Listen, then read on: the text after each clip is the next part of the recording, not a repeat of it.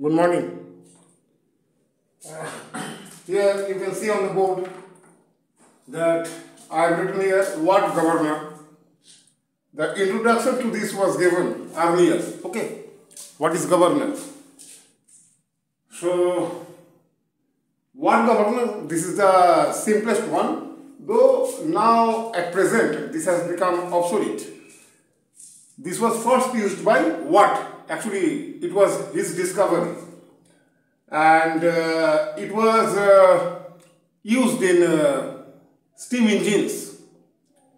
But at present there is no use of this because uh, this governor is less sensitive. Okay this governor cannot be used for high speeds. This governor can be used only for low speeds.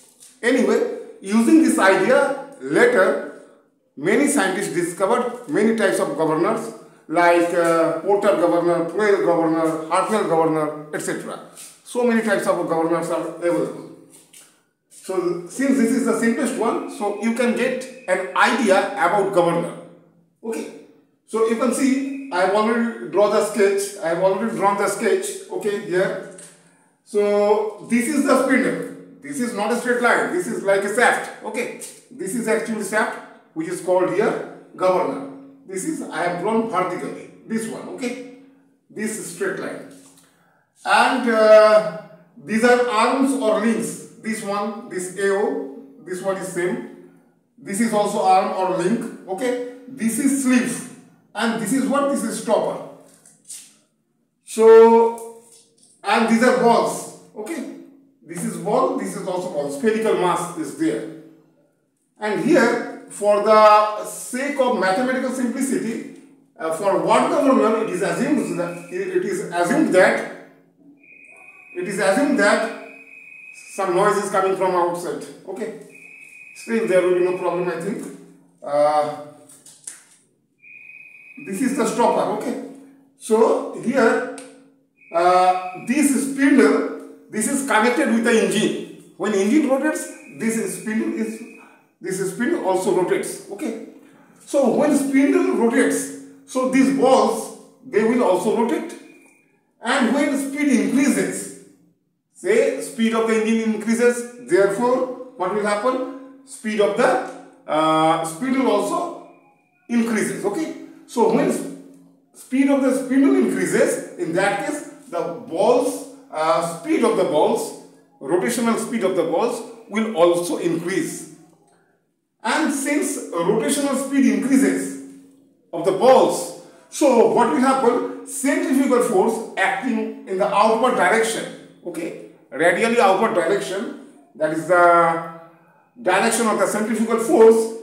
So centrifugal force also increases. If centrifugal force increases, what will happen? There will be lift of the sleeve means there will be upward movement of the sleeve. Okay.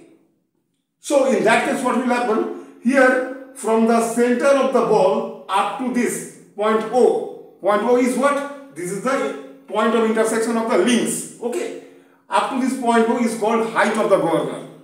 So when centrifugal force increases, this H will decrease because balls will go in the upward direction. So in that case H will decrease.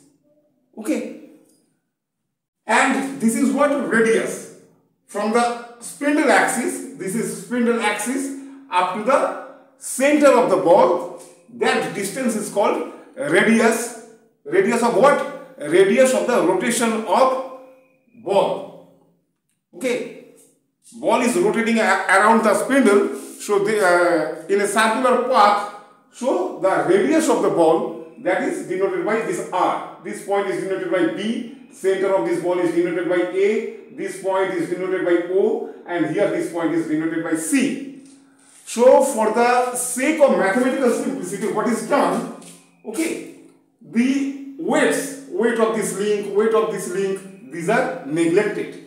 Also, sleeve is having some mass, you know this thing. But mass of this sleeve is very, very small as compared to the mass of this ball. So, this Mass is also neglected, actually not mass, that is weight. Since it has some mass, so it has some weight, so this weight is neglected. since this weight is neglected, there will be no tension in the link AC. Okay. In the link AC, there will be no tension since this sleeve is assumed to be weightless. Okay, anyways. So, so what are the forces which are acting on this ball when it is rotating? Uh, forces are, one force will be there which will be acting in the outward direction. Okay, I am showing this one. Here also same thing will happen.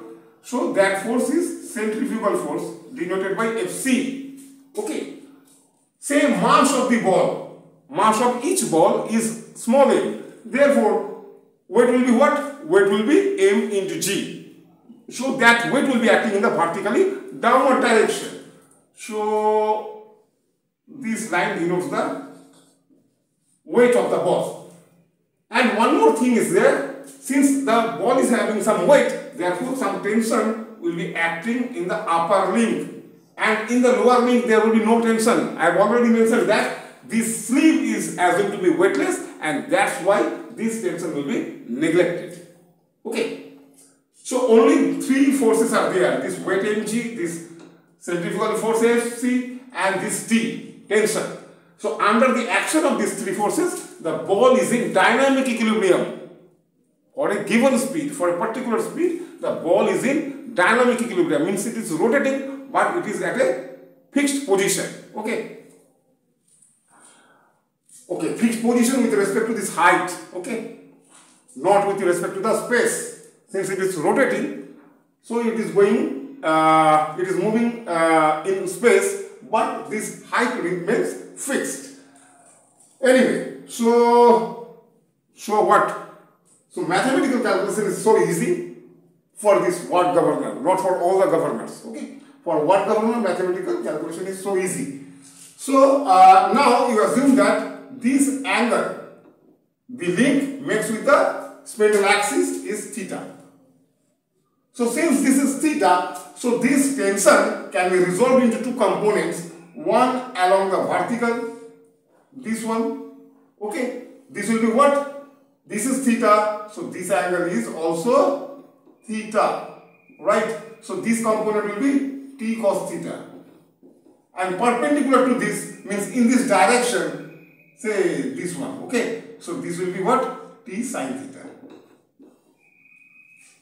So you know that since it is in equilibrium condition, therefore, uh, therefore in the horizontal direction, there will be no net force. Means net force in the horizontal direction will be zero. So direction of Fc and direction of t, t sin theta are opposite to each other. Therefore, we can easily write t sin theta. This is equal to what? This is equal to Fc. And Fc is equal to what? That is centrifugal force. And we know that Fc is equal to Fc is equal to what? Fc is equal to m omega square r, where omega is the angular speed of the ball. Okay, m omega square r. So this we have got by using horizontal direction, by considering horizontal direction. Now consider the vertical direction. In the vertical direction, there are two forces, this mg and t cos theta.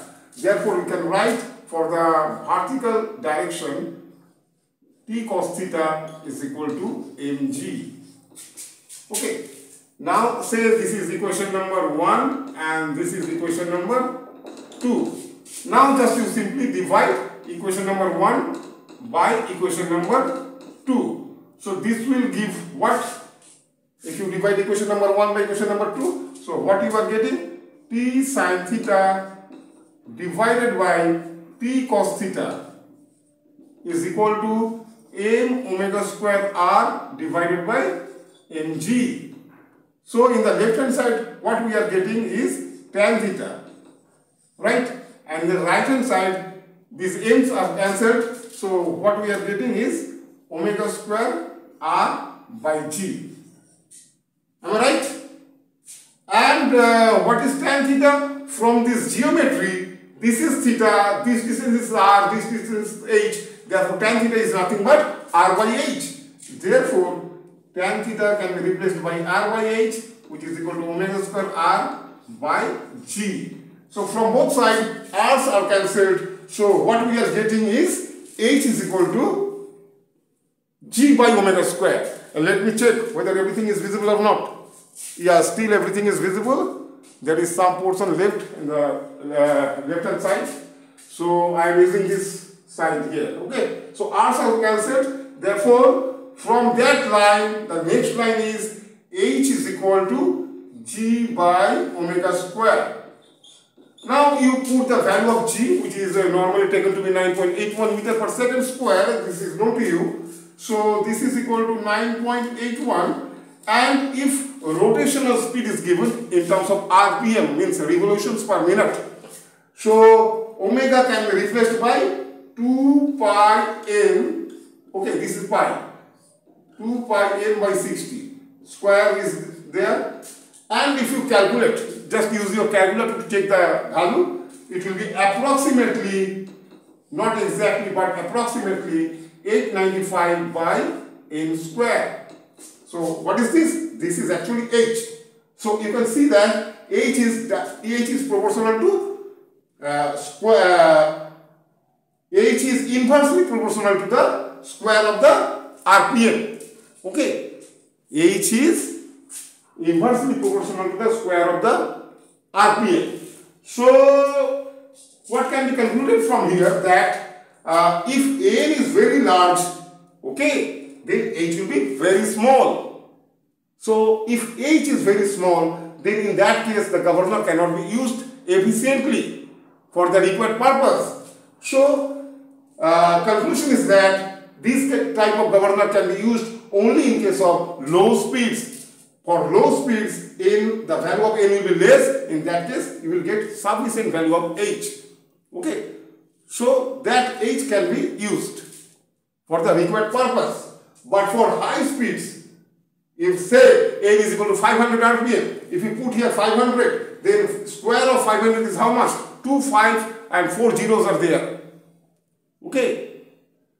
So 895 divided by that uh, 2, 5 double zero double zero that number is so small okay and if there is little change from say the rpm changes from 500 rpm to 550 rpm so the changes in age will be very small okay you can use your calculator to check the values but if you use uh, this uh, one governor for low, low speed such as uh, n is 30 rpm or 40 rpm or 50 rpm then you will get sufficiently large value of h.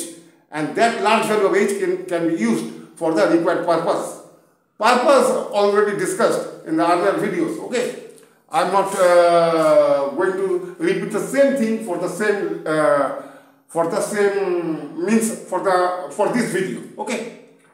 Anyway, uh, I think this is over, okay? Just keep in your mind that this type of governor has become now obsolete. It is of no use at present.